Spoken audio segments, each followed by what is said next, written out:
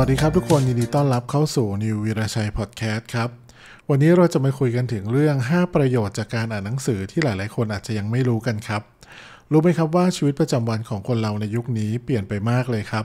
ผมเองสังเกตว่าเวลาขึ้นรถไฟฟ้า รถเมล์หรือแม้กระทั่งตอนพักเที่ยง ส่วนใหญ่ทุกคนจะจ้องมือถือสไลด์หน้าจอไปมาเช็คโซเชียลต่าง ๆ โดยแทบจะไม่เงยหน้ามองอะไรเลย แต่รู้ไหมครับว่ามีกิจกรรมดีๆอย่างหนึ่งที่เรากำลังลืมไป แถมมีประโยชน์มหาศาลต่อชีวิตของเราด้วย นั่นก็คือการอ่านหนังสือนั่นเองครับ วันนี้ผมเลยจะพาทุกคนไปดูกันว่า การอ่านหนังสือมีประโยชน์อะไรบ้าง แล้วทำไมเราถึงควรหันมาให้ความสำคัญกับมันมากขึ้น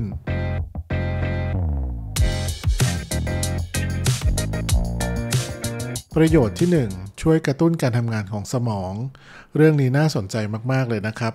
สมองของเราเปรียบเสมือนกล้ามเนื้ออย่างหนึ่งครับ ที่ต้องได้รับการออกกำลังอย่างสม่ำเสมอ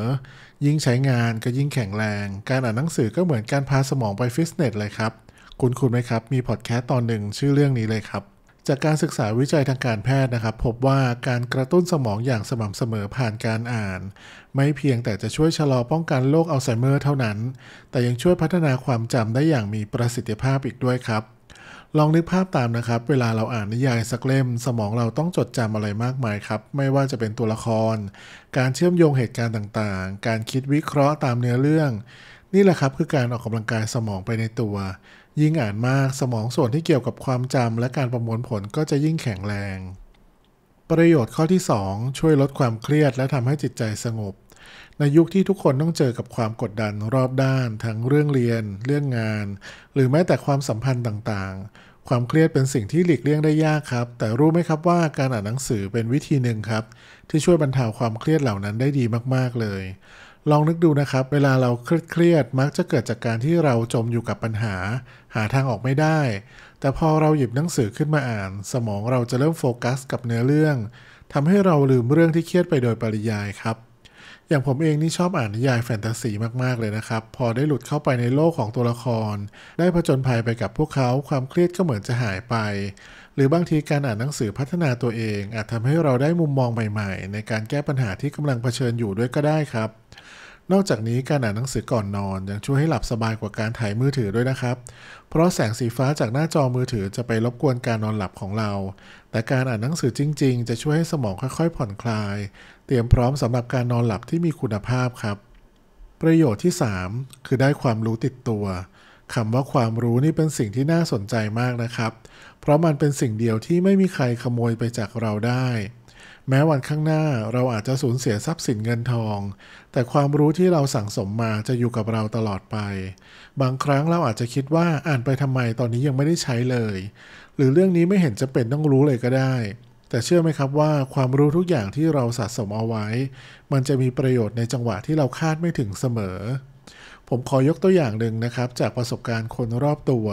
ผมมีเพื่อนคนหนึ่งครับเขาชอบอ่านหนังสือเกี่ยวกับการซ่อมแซมบ้านและงานช่างพื้นฐานเอามาก ๆ ตอนแรกก็คิดว่าแค่อ่านเพราะสนใจ ไม่คิดว่าจะได้ใช้ แต่พอซื้อบ้านหลังแรกเจอปัญหาน้ำรั่ว ไฟรั่ว ท่ออุดตัน เขาก็สามารถจัดการได้เองหลายต่อหลายอย่าง ประหยัดเงินไปได้เยอะ แถมยังช่วยเพื่อนบ้านแก้ปัญหาเล็ก ๆ น้อย ๆ ได้อีกด้วย รืออีกตัวอย่างหนึ่งครับที่น่าสนใจเขาเป็นน้องที่ออฟฟิศมาก่อน เขาชอบอ่านหนังสือเกี่ยวกับการปลูกต้นไม้ การจัดสวน ตอนแรกก็แค่อ่านเพราะชอบต้นไม้นะครับ แต่พอช่วงโควิดที่ทุกคนต้องอยู่บ้าน เขากลายเป็นที่ปรึกษาให้เพื่อนๆในการปลูกผักสวนครัว จนตอนนี้มีรายได้เสริมจากการขายต้นไม้ และให้คำปรึกษาเรื่องการจัดสวนเลยครับ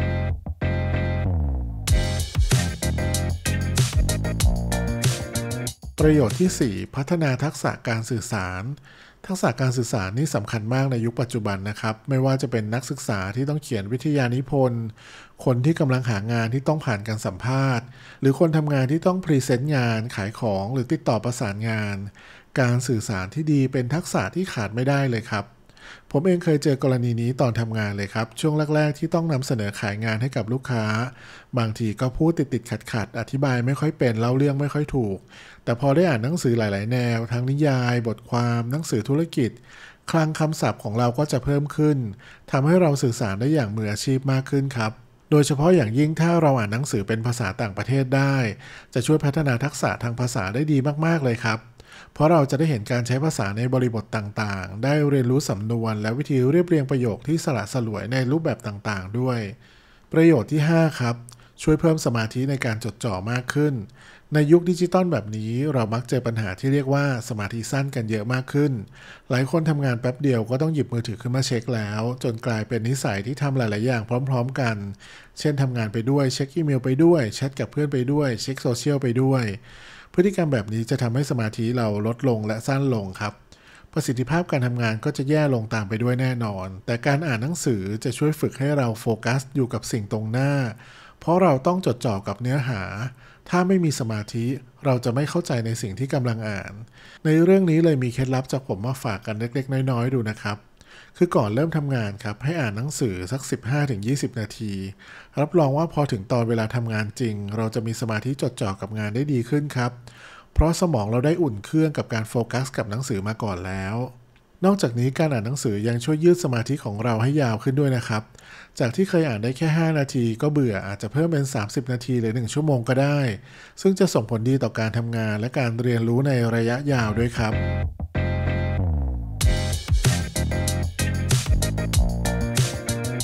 และทั้งหมดนี้คือ 5 ประโยชน์จากการอ่านหนังสือที่อยากจะแชร์ให้ทุกๆ คนฟังนะครับ จริงๆ แล้วการอ่านหนังสือมีประโยชน์มากกว่านี้อีกเยอะเลยครับ ไม่ว่าจะเป็นการพัฒนาความคิดสร้างสรรค์ การเพิ่มไหวพริบปฏิภาณหรือแม้กระทั่งการสร้างแรงบันดาลใจในการใช้ชีวิต แต่ผมเข้าใจนะครับว่าหลายคนอาจจะยังรู้สึกว่าการอ่านหนังสือเป็นเรื่องยาก ต้องใช้เวลาเยอะ และใช้สมาธิเยอะ บางคนอาจจะบอกว่าไม่รู้จะเริ่มยังไง หรือบางคนก็จะกลัวว่าอ่านแล้วจะไม่เข้าใจ ผมเลยมีเคล็ดลับการเริ่มต้นการอ่านหนังสือมาฝากกันสักเล็กน้อยครับ ข้อแรกเลยครับ เริ่มจากอ่านในสิ่งที่เราชอบ อยากอ่านอะไรก็อ่านครับ จะเป็นการ์ตูนก็ได้ นิยาย นิตยสาร หนังสือท่องเที่ยว หนังสือพัฒนาตัวเอง เลือกในสิ่งที่เราสนใจจริง ๆ ครับ 2. อ่านทีละนิดครับ ไม่ต้องรีบ เริ่มจากแค่ 5 นาที 10 นาที 15 นาทีต่อวันก็ได้ครับ แล้วค่อยๆ เพิ่มเวลาขึ้นไป 3. ครับหาเวลาที่เหมาะกับตัวเอง บางคนอาจจะชอบอ่านตอนเช้า บางคนอาจจะชอบอ่านตอนก่อนนอน หรือบางคนชอบอ่านระหว่างเดินทาง ลองสังเกตดูครับว่าช่วงไหนที่เราสะดวกและมีสมาธิ ข้อที่ 4 ครับ ถ้าอ่านแล้วไม่เข้าใจไม่เป็นไรเลยครับ ลองเปลี่ยนเล่มดู หรือจะกลับมาอ่านซ้ำใหม่อีกรอบตอนที่เราพร้อมกว่านี้ก็ได้ และข้อสุดท้ายครับชวนเพื่อนมาอ่านด้วยกัน อาจจะตั้งกลุ่มแชร์หนังสือที่อ่าน หรือนัดคุยแลกเปลี่ยนความเห็นกันก็ได้ จะได้สนุกแล้วก็มีมุมมองใหม่ ๆ จากเพื่อนๆด้วยครับ